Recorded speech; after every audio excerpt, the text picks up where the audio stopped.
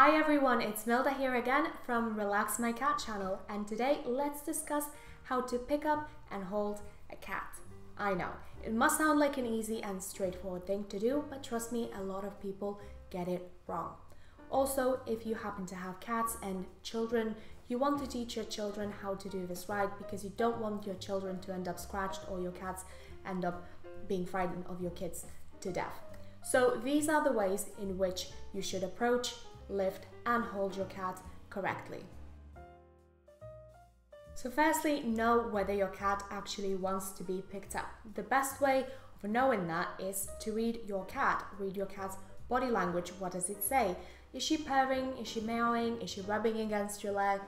Um, is her tail up like that? Are her ears tilted slightly forward like that? These are all signs that your cat is actually interested in socialization and it might be a good time to pick her up. However, never pick up a cat when you can see that she's scared or frightened unless it is a situation where you absolutely must do so, such as, say, you are in the vet's office.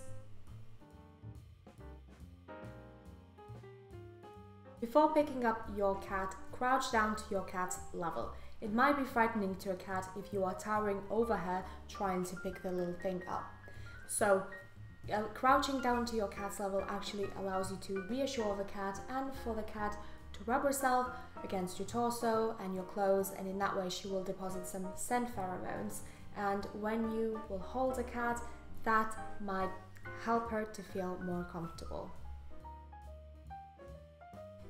So when picking up your cat, place your dominant hand under your cat's torso, which should be located directly behind the front legs. So with your fingers, you should feel the rib cage as opposed to the soft belly.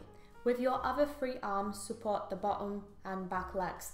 So place it under his hind feet so that your hand is above and behind his paws. Once your hands are in the right place, you can then lift up your cat and stand up straight. The hand and your forearm under your cat's hind legs should make a platform to support your cat and pull the cat against your chest to provide more support and to help him feel more secure.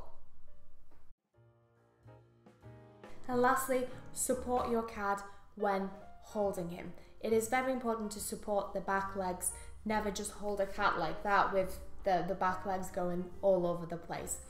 And exactly how your cat wants to be held, it just depends on the personality of a cat. Some cats prefer to be held against your chest with their paws over your shoulders so that they can like look around and see everything, whilst other cats love to lay on their backs with their belly up, just like a human baby.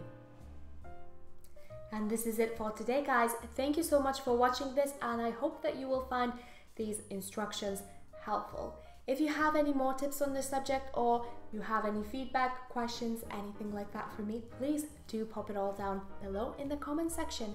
And don't forget to subscribe. I love you guys and I will see all of you back here next week. Bye!